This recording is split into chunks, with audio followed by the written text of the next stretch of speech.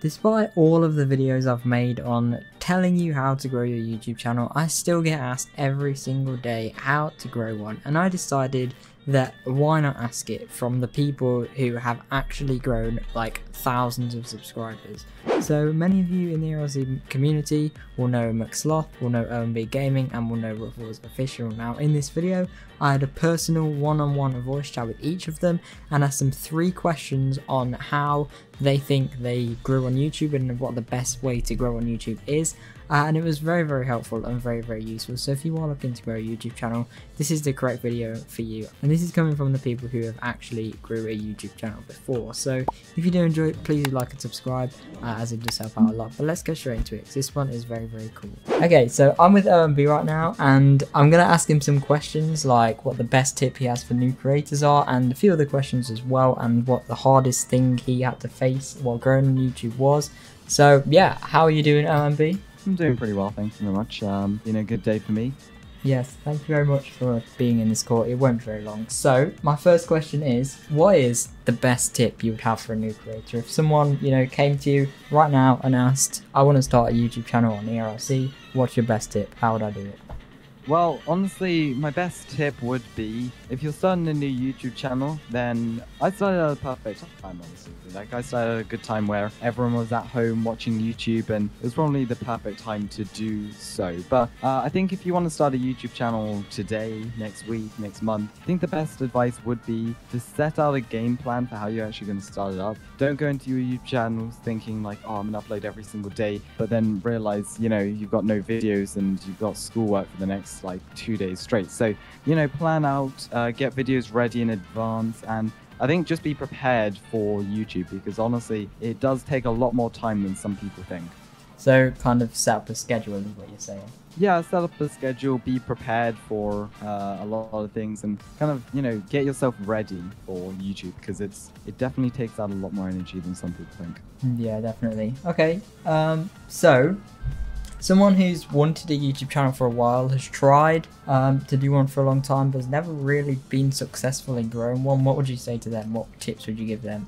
Honestly, I'd say try something new. Uh, a lot of people find that, you know, if they get stuck on YouTube, they can't grow. Uh, and honestly, it's probably just because your videos aren't getting through the YouTube algorithm. It's one of the most complicated algorithms on the planet, but it just takes a bit of working to get used to. And, you know, you just got to figure out the best way that works for you, that works for your videos. And so rework your titles, your thumbnails, your descriptions, how you lay out your videos to make sure you get your the maximum um, basically make sure you capture your maximum audience and uh, you can get recommended in lots of people's YouTube recommendations. And you just gotta kind of rework and make it work for you and make it work for YouTube, I guess. That makes any sense.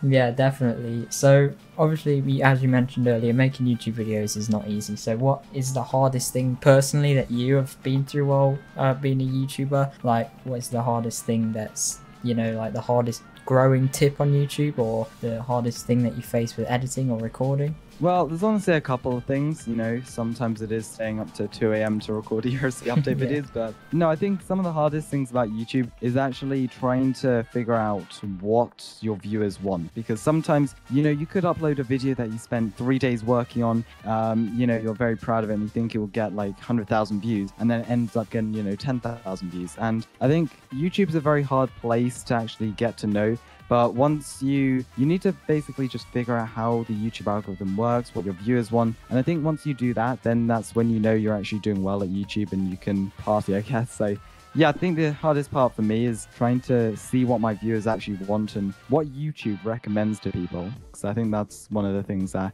it will make your channel grow, but you just got to figure out what you've got to do to make your channel grow. Yeah, definitely. Well, that is all of the questions I had for you. Thank you very much, OMB.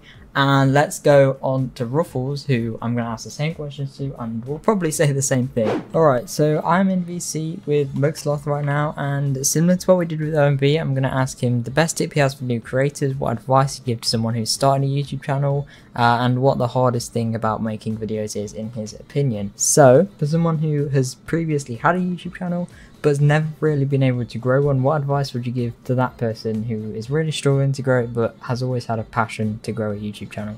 Um, similar. uh, you know, make sure you're focusing on quality over quantity when it comes to content. You know, if it takes, if you have to take a couple days out of your schedule, you know, your usual upload schedule to make sure a video is good, uh, you'll do much better growing off of that video than you will just rushing it and trying to get it out. And obviously, consistency. You know, don't give up after a month just because you don't see results. That kind of thing takes time.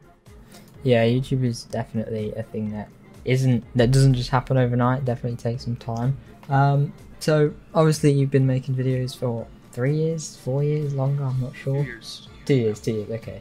Um, but out of all the videos you've made, I'm assuming probably hundreds. What is the hardest thing about making videos that you have had to face? Um, I'd say the most difficult thing is trying to keep content fresh. You know, trying to constantly come up with something new or something that's interesting um, when you've already done so many videos can be difficult. To be honest, that's that's the hardest thing for me is, is constantly having to come up with new ideas. Yeah, similar to what OMB said with trying to keep in line with what your audience actually wants to see. Because if you're uploading videos that your fans or subscribers don't really want to see, then you're not really going to see as much success as whereas if you were doing a video that your fans did want to see. Um, but that is all for McSloth. We're going to go and do Ruffles now. Thank you very much, McSloth, for taking your time to just answer a few little questions. Okay, so I'm in a VC with Ruffles again. So we've already done OMB and McSloth, and now it's Ruffles. So again, I'm going to be asking you the same three questions. What's the best tip you have for new creators? What advice would you give to someone who's wanted a YouTube channel for a long, long time? And what is the hardest thing that you know about making YouTube videos for your channel? So first of all, hello Ruffles, how are you? What's up? I'm good. How are you, man?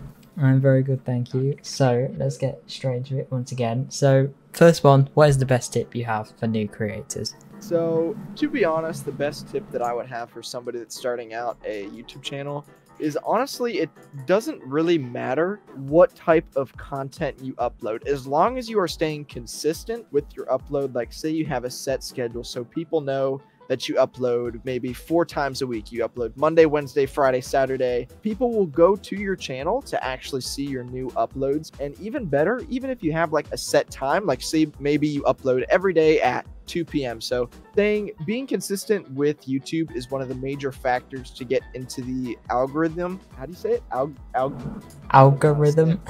yeah, whatever it is. And um, yeah, so I think that's probably the biggest thing that you guys would uh, would need to have to be successful. yeah, so would you kind of say that keeping on schedule is a good way to grow? Yeah, absolutely. Um, and for the advice, I think definitely being on schedule, but the more with YouTube, the more engagement you have on your channel, the more YouTube promotes your video to new people. So, say that you have maybe 10 comments.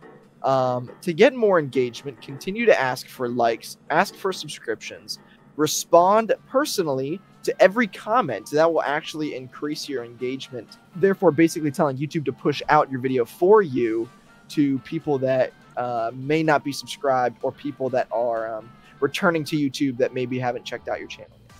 Yeah, definitely. So you just kind of answered question two, and that is basically exactly the same as what OMB and McSloth have said. Kind of doing what your audience wants and make sure you're interacting with them, because then obviously, as you said, the algorithm picks up on it.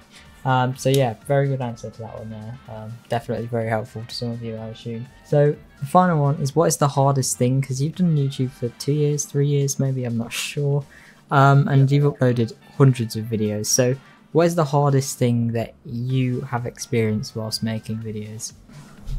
For me, and I bet for a lot of other people, it's motivation. So Definitely. lots of things come in in idea with that. The money shouldn't be a motivation, and it's not for me.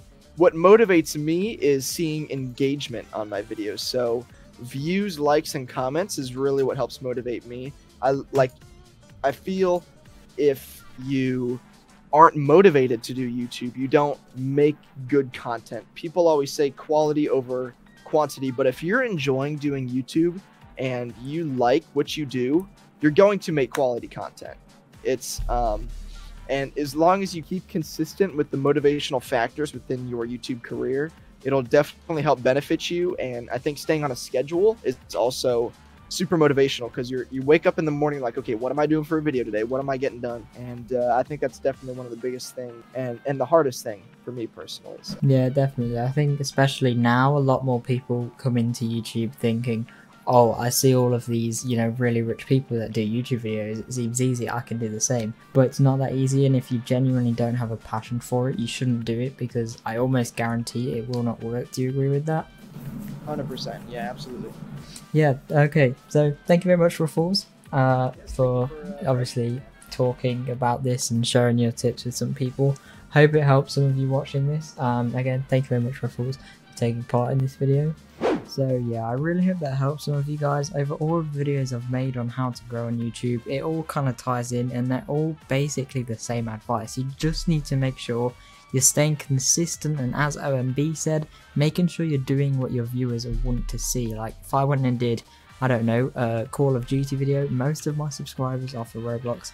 They're not going to watch it. No one really wants to see me play Call of Duty, let's be real, because I'll be really bad at it. But beside the point, it's just making sure you're doing what your viewers want to see and make sure you're being consistent in your videos. Now, if you want loads more information and exactly in-depth ways on how to grow a YouTube channel, there'll be a video uh, on screen now where you can go and watch and it will also be linked in the description as well and it will help you out so much. Please believe me every single one of those tips in that video helped me grow on youtube and i know i'm not the biggest on youtube but i would say i've done fairly well on youtube 60000 subscribers and still growing.